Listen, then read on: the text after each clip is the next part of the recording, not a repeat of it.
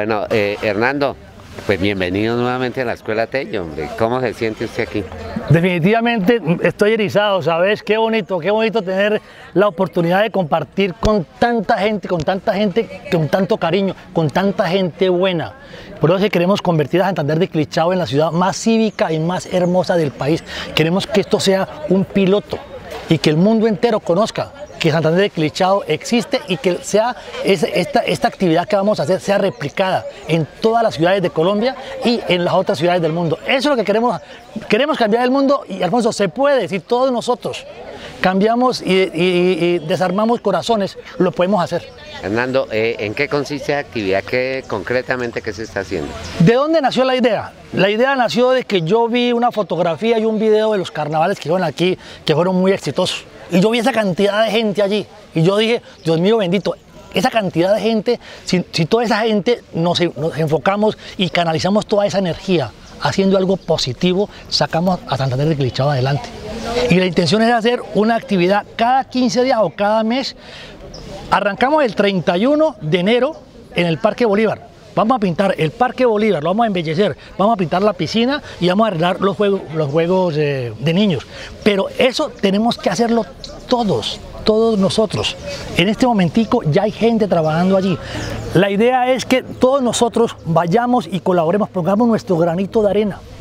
Hombre, cinco minutos, diez minutos, media hora, una hora con un cepillo, limpiando, pintando, organizamos. Y todos nosotros hacemos y le damos eh, esencia de pertenencia, es que desafortunadamente lo que es público no es de nadie.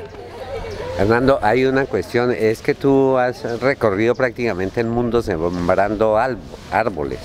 Eh, una cuestión es eh, ¿cómo, cómo se hace eso, cómo te has financiado, eh, tu tiempo, tus cosas, ¿cómo, es? No, yo considero, yo considero, Alfonso, de que nosotros tenemos que justificar el por qué estamos nosotros aquí.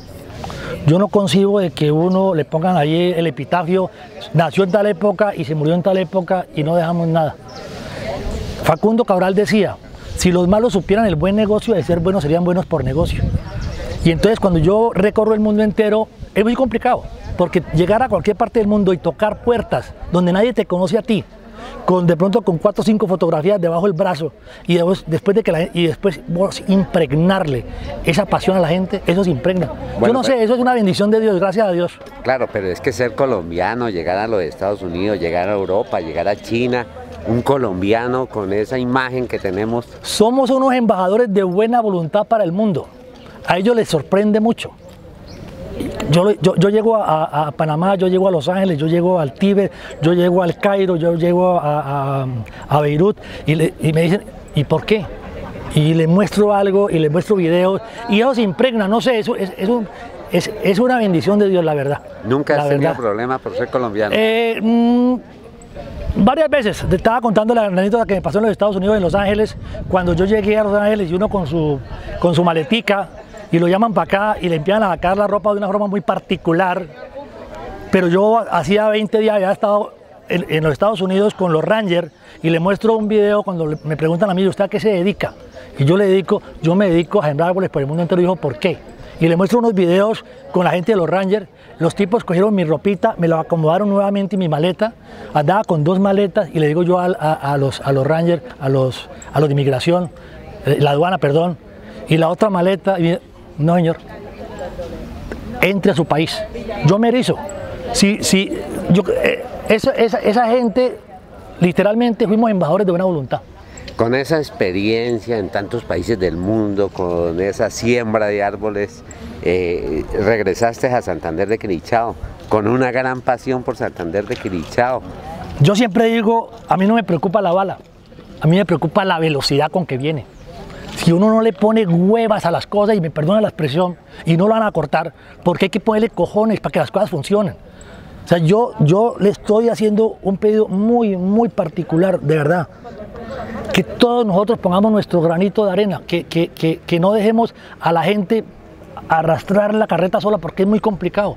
Y yo le quiero poner y le estoy colocando todo mi tiempo, literalmente todo mi tiempo y toda mi pasión a un sueño que llama Santander de Clichao. Tú decías ahorita que no nos preocupemos por la cosecha, que es mejor preocuparnos por lo que estamos sembrando. Los, seres humanos nos preocupamos por lo, que, por lo que cosechamos. Tenemos que preocuparnos por lo que damos. Todo lo que tú das se te devuelve. y se te devuelve de una forma impresionante. O sea, eh, eh, yo no sé las puertas por qué abren para adentro. Las puertas tienen que abrir para afuera. Cuando tú le, le, entregas a la gente, cuando tú ves y la gente se da cuenta de que tú estás para servirlo, para, ayudarlo, la gente te ayuda al doble. Bueno, entonces, ¿qué tiene que hacer el ciudadano común y corriente que tú ves en la calle, eh, el ciudadano que, que, quisiera participar pero que no hay motivación? ¿Qué tiene que hacer el, el ciudadano que está parado en la esquina? Levantar el que sabemos e irse para el Parque Bolívar y para la piscina y decir, ¿qué puedo hacer? Allá hay un grupo de, arquitectos, ingenieros en el parque diciendo, traiga una pintura, traiga una brocha, traiga un cepillo, limpiemos una banca, hagamos algo. Todo. Si todos nosotros hacemos eso, y la idea es hacer eso el 31 de enero. Pero todos estos días se va haciendo. O sea, la invitación es para que hoy, mañana, hasta el 31 nos acompañen. Pero la gran, la gran actividad va a ser el 31 de enero. Eh, la alcaldía municipal, la gobernación del Cauca, las autoridades civiles, de policía, militares, ¿has hecho algún contacto? Estamos apenas arrancando a hacer todas las cosas, pero, pero ya saben, o sea, es que nunca en la historia de la humanidad hemos tenido tantas herramientas, tantas herramientas para difundir el valor de la palabra. Pues puchica, es que yo me imagino un Mahatma Gandhi, un Mandela con las herramientas que tenemos nosotros. Yo he hecho varios videos y me han llamado del Tíbet, me han llamado de Turquía, me han llamado de Dubái, diciendo Hernando, fabulosa tu idea. Nosotros queremos replicar algo parecido en cada uno de nuestros barrios. Y, y así se va sembrando la semillita. Bueno, pues Hernando, muy agradecido en nombre de Santana de Quilichao. Espero pues que, en unos años estemos cosechando lo que está sembrando. Sembramos árboles, estamos sembrando árboles y esa es otra actividad que estamos haciendo. Y es una realidad, la estamos haciendo. Es que, es que lo único que cambia el mundo es la acción. La gente, hay, hay un problema muy delicado. La mayor ignorancia, Alfonso, es saber qué hacer y no hacerlo. Es que tú estás diciendo la siembra de árboles, eh, comenzaste en la vía panamericana entre el peaje de, de Villarrica y Santander de Clichao y tienes proyectado la doble variante Santander-Popayán. Exactamente, se va, a convertir en uno de los corredores más florales y más verdes del mundo. Y, y eso es parte, mira, hay una, hay una, hay una, hay una, una, una, bolita que va girando y se van juntando las cosas. Yo los invito a todos a que conozcan la historia de la sopa de piedras. Arrancó con una sopa de piedras. Y eso, eso, eso es lo que se está haciendo. Se sembró un árbol primero, ya llevamos 12 kilómetros. Tenemos inconvenientes con la gente de la, de la, de la, de la, de la malla vial. Pero bueno, no, no, no, no. Si queremos cosechar bien, no patimos la, la colmena.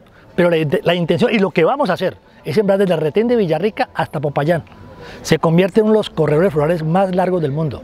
Y eso se va a replicar en otras ciudades, porque la intención es esa, que se replique. Cuando yo tengo un negocio, yo tengo competencia. En lo que estamos haciendo no hay competencia. Porque si alguien se nos, adelantó en Tumaco, en Cúcuta, en Pereira, en Barranca Bermeja, bienvenidos sean. Que todos lo hagamos, bienvenidos sean. Esa es la idea hay que pensar, eh, digamos, aprovechando esa pasión tuya por, la naturaleza, por el medio ambiente, pensar en un momento dado en, en, la cuenca del río Quilichao, ahorita que estamos en semejante sequía, ¿qué has pensado sobre eso? Plenamente de acuerdo, muchos amigos me han dicho y, los invito a que generen ideas y que, y que hagan cosas, o sea, no esperemos que lo haga otra persona, o sea, que alguien lo lidere y que lo llame a uno y uno pone su granito de arena. O sea, la intención es que todos los seres humanos podemos hacer mucho más de lo que estamos haciendo para que este mundo sea mejor. Y esa es la intención. La intención cuando yo empecé a sembrar árboles, el principio filosófico no era ese. El principio filosófico es que tenemos que hacer más. Y si todos hacemos más, esto es mucho mejor. Príncipe, príncipe, que le quiere mucho. Síguenos en nuestras redes sociales. Búscanos en Facebook como Proclama del Cauca. En YouTube Proclama del Cauca. En Twitter como arroba proclama. En WhatsApp 310 377 7930.